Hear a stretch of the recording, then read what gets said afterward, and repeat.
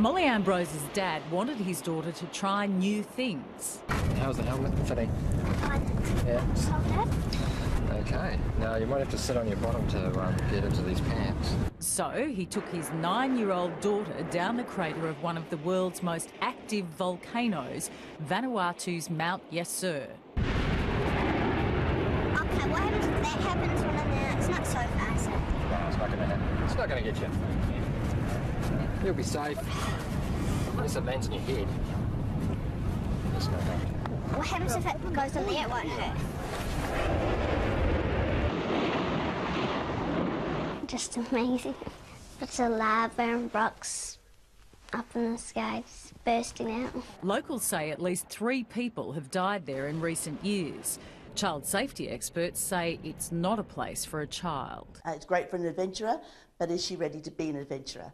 And we would just caution about uh, pushing those boundaries a bit too far. But Molly's dad wants this school holiday adventure to be the start of things to come. Hopefully, in the future, when we uh, go on um, further expeditions, uh, she'll be able to come and uh, get as close as what we can do.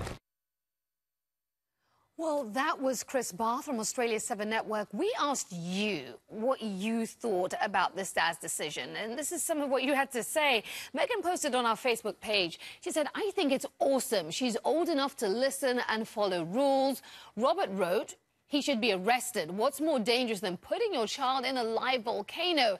And Amanda says, oh, please, this father is teaching his daughter about science. All right, well, we wanted an expert's opinion on this, so we asked a geology professor if he would ever go into the crater of an erupting volcano, and he said, no way, it's just too risky. And this is not just about the lava, but the possibility of a big ash cloud eruption, and that, I'm afraid I have to tell you, you can't tell when one of those might happen.